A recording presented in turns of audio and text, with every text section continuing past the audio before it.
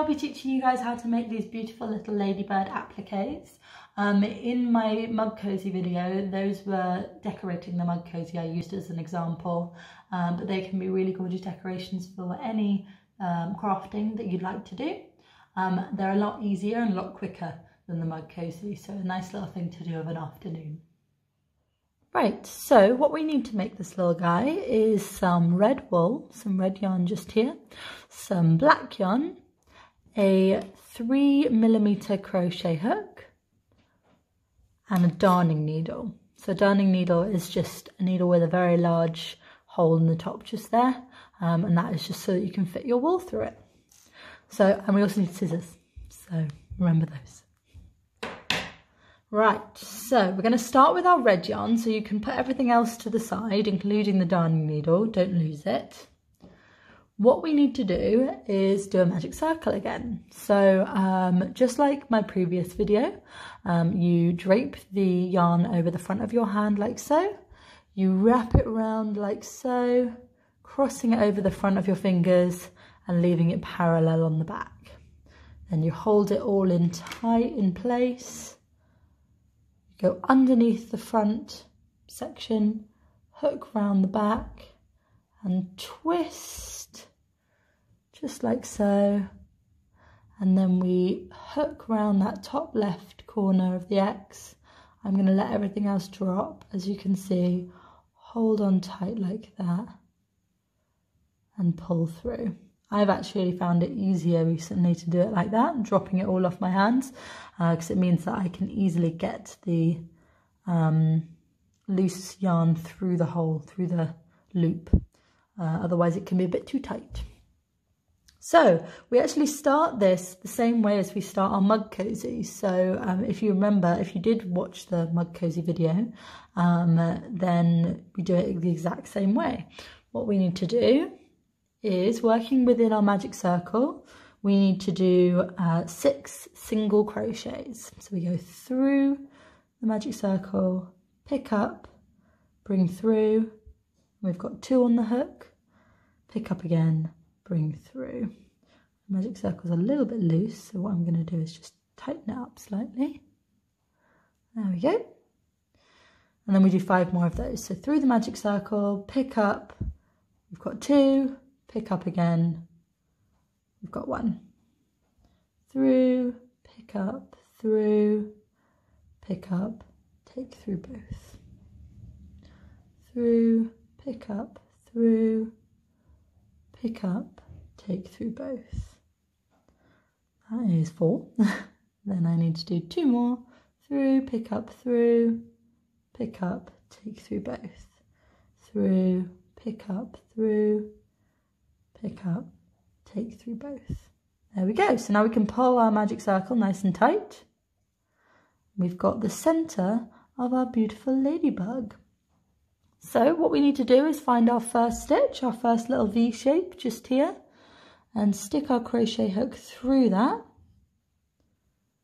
Then we do 12 stitches around and doing that we need to do two stitches, uh, two single crochets in every stitch. So we uh, pick up and bring through. Then we've got two, we pick up and bring through. Then we do uh, one more single crochet into the same stitch. And then we move on to the next.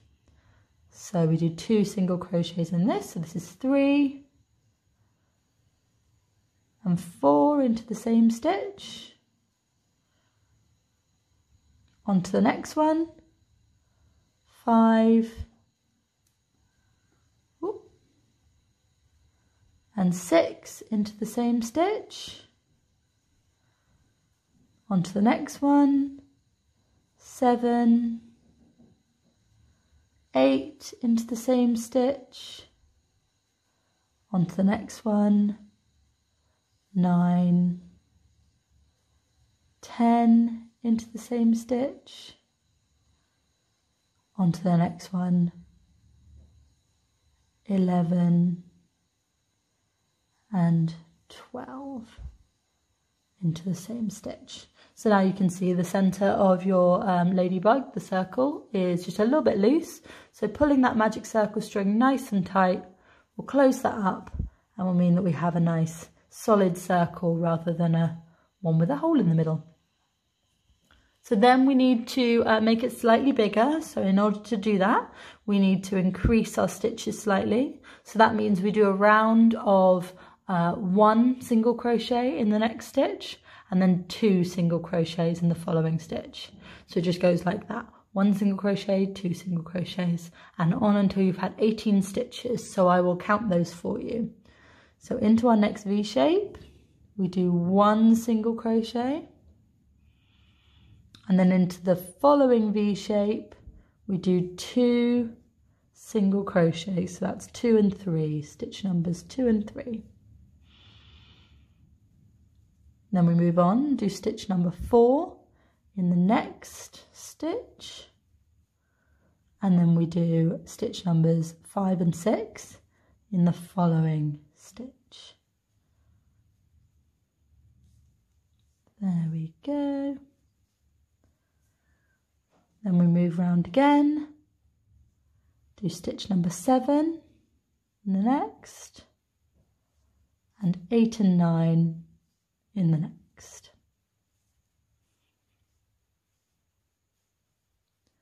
Moving around again, stitch 10 in the next, and then moving around again, 11 and 12 in the next. Moving around again, we've got 13 in the next, and then 14, 15 in the next.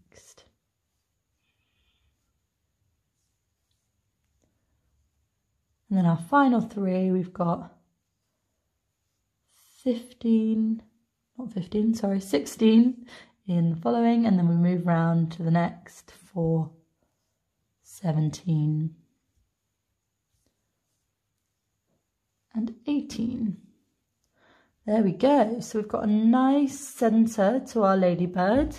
Um, it's probably as big as you need to go, but if you just want to follow the mug cozy pattern to make it bigger, you are absolutely welcome to.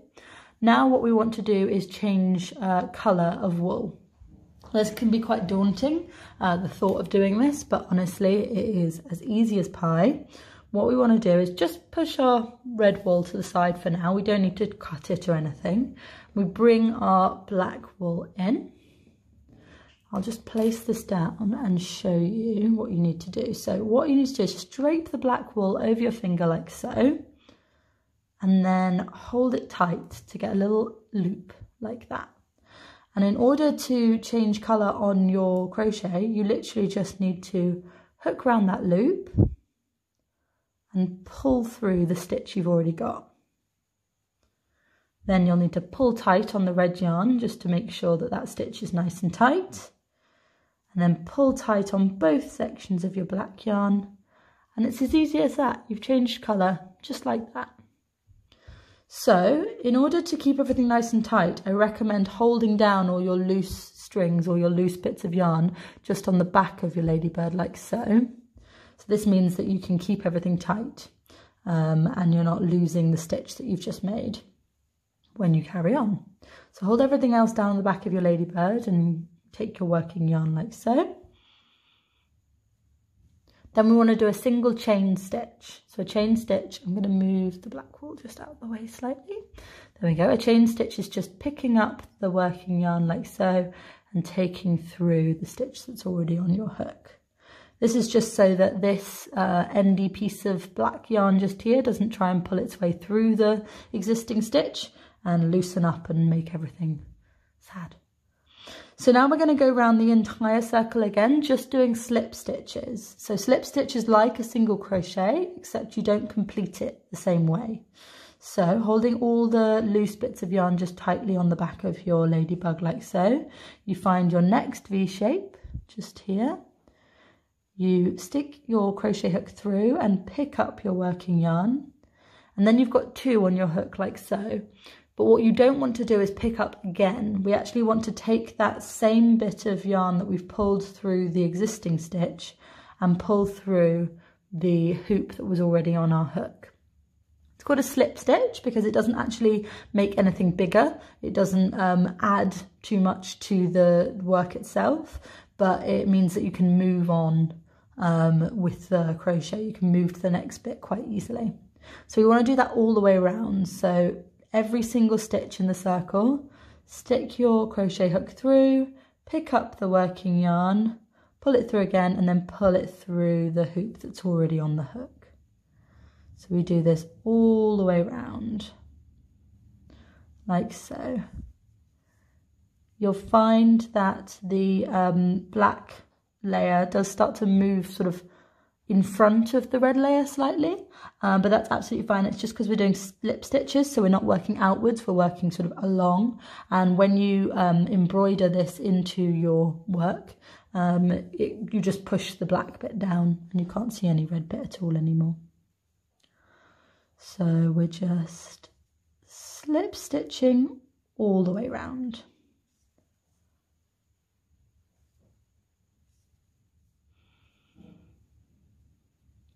We've made it round to the black yarn again.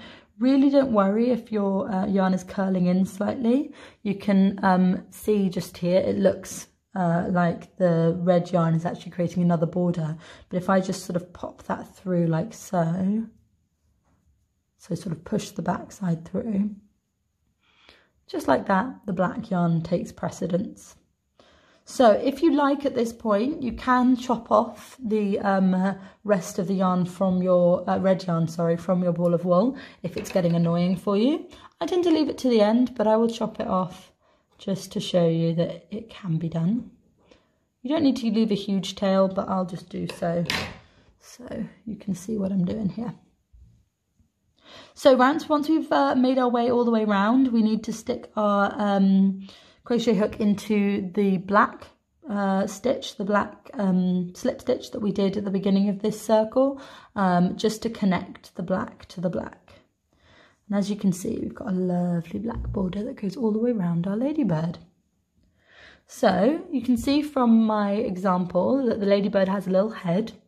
On my example, it's a bit of a wonky head, but I will show you how to do the head now. It's really simple, just using uh, single crochets and chain stitches. So uh, in order to move outwards, we want to do another chain stitch. So that's picking up the working yarn and pulling through our existing loop on the hook. Then we want to find the next um, black stitch around our circle. So these are going to be quite tight because they are slip stitches rather than chains, uh, rather than single crochets.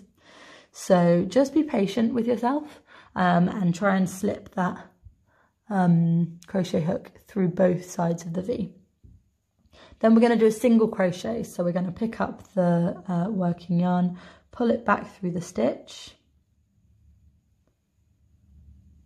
There we go. Can be quite tight, so just give it a little wiggle. And then pick up the working yarn again and take through both of those.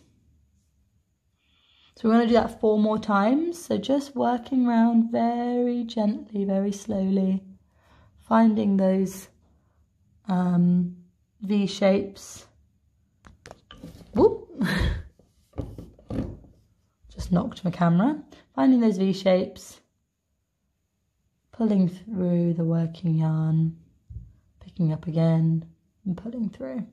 Two more times. Finding the V shape, going through, picking up, coming back through, picking up again, coming through. Once more.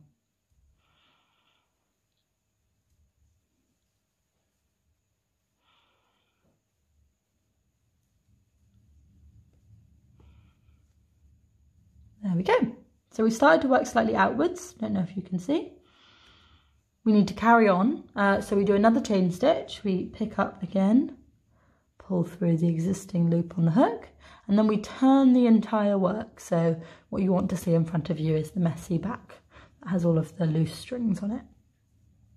Then what you want to do, just have a look here. You can see, if it comes into focus, that um, there is a V shape right next to the loop that's on the hook.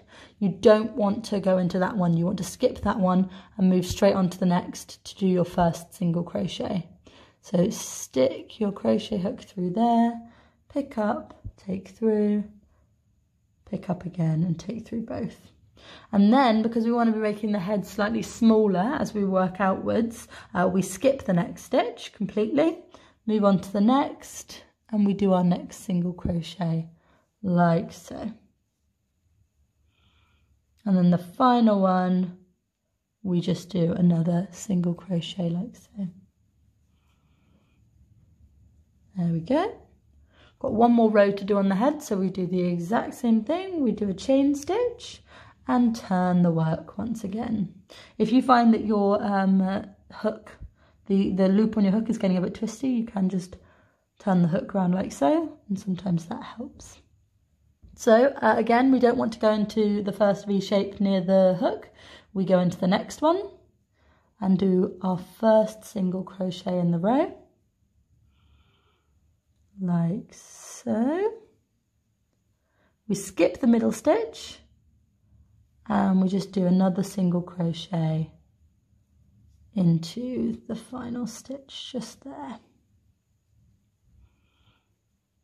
There we go. Ooh, got a yarn that's liking to split on me.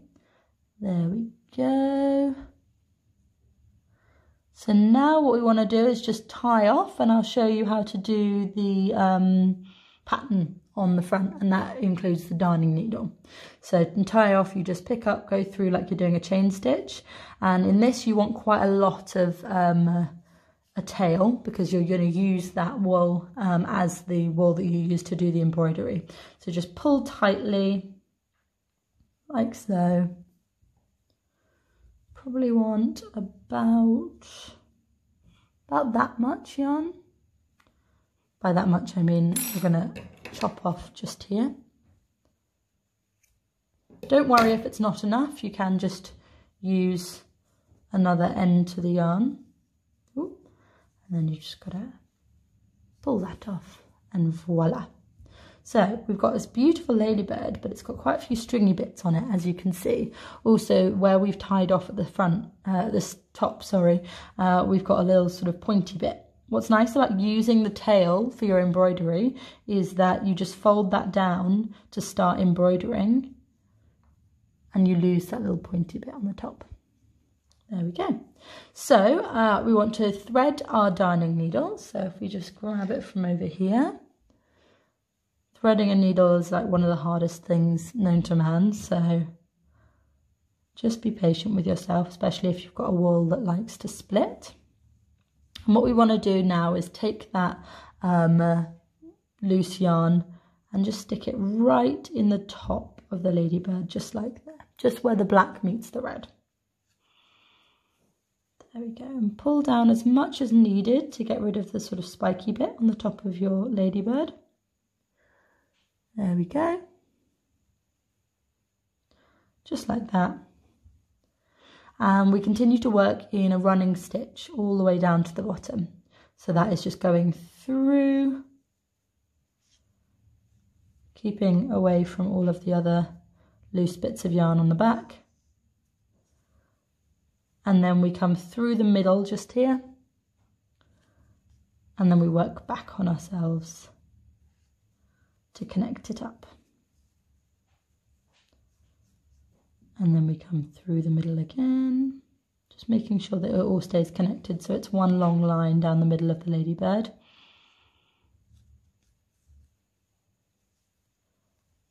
Okay, I've got a bit of red covering that, but that's absolutely fine. Then we get right down to the bottom, stick our needle through and connect up the line just like that. If it's a bit messy, that's absolutely fine. If you need to go back over it, that is also absolutely fine. It is literally just however you like to do it really. I can see here the middle of mine is not the most neat. So what I'm going to do is just come back through the middle here and just go over that line just once more make sure you can see it's a lovely middle line to the ladybird like so. So now what we want to do is our four spots. I'm going to do four. You can do three or two or seven if you can fit them.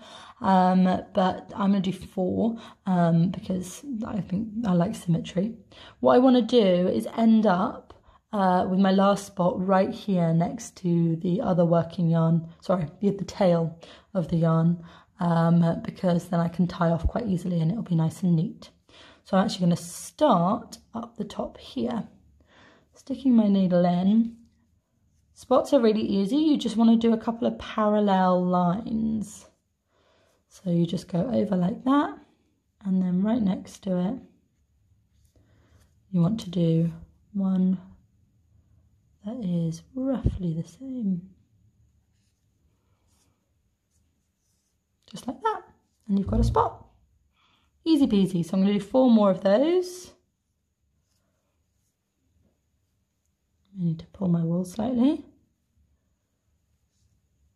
Like I said, if you're running low on uh, working yarn, working wool, uh, feel free to use the other tail or um, you can just get some more. I mean, you don't have to use the uh, tail from your crochet to do the stitches. Absolutely fine.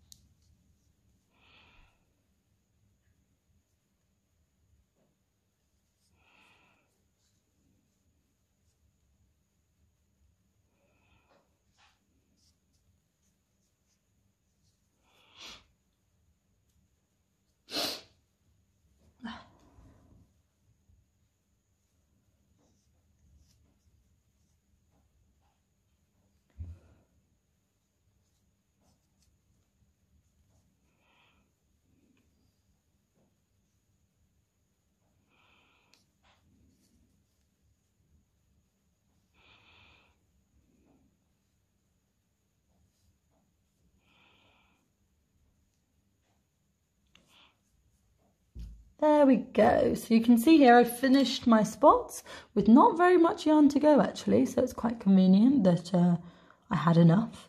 Um, if you want to like leave more than enough just to make sure that you've got uh, enough to do however many spots you'd like.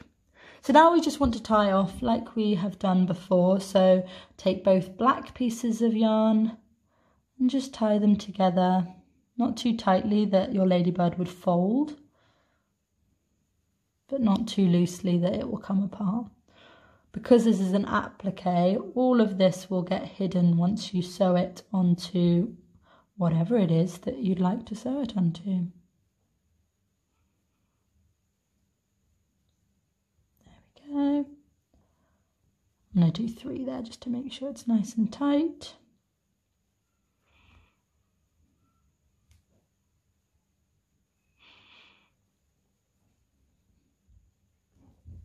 And do the same with the red yarn.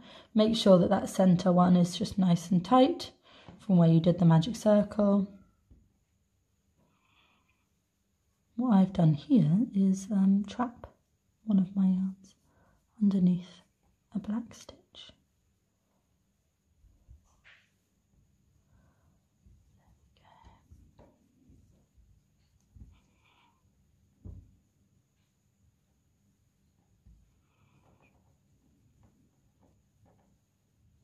There we are, and then you just want to chop off all those loose ends. So, just grab my scissors.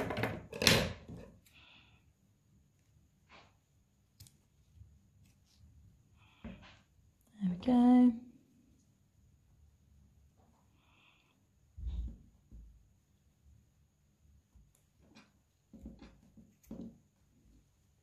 And there we are. That leaves us with a beautiful little ladybird applique. And you can make as many of these as you want. So um, they make really gorgeous decorations for the mug cozies I've shown you in the previous video. Um, but also any crochet thing that you would like to make.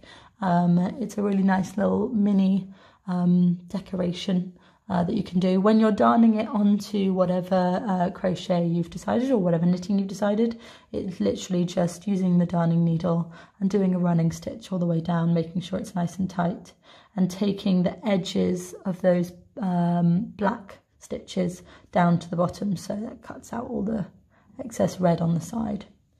So there we are. I hope you've enjoyed making these lovely ladybirds and I look forward to seeing all your creations. As always, if you've got any questions, just pop them in the comments and I'll be happy to answer.